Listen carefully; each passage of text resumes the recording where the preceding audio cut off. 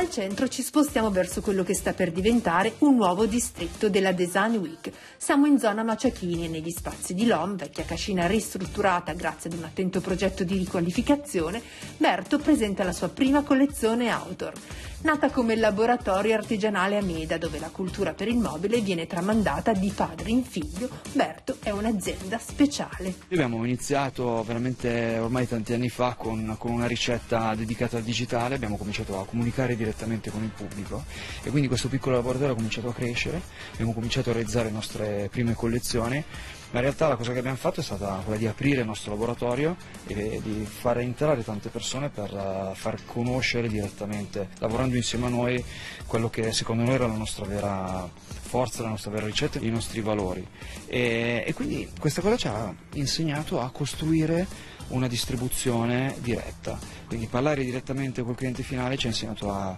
a costruire degli spazi, degli showroom dove le persone potessero riconciliarsi con, con il lavoro artigiano, col design in modo diverso, costruendo un'esperienza unica. Nicoletta Di Feo, Sky TG24, Milano.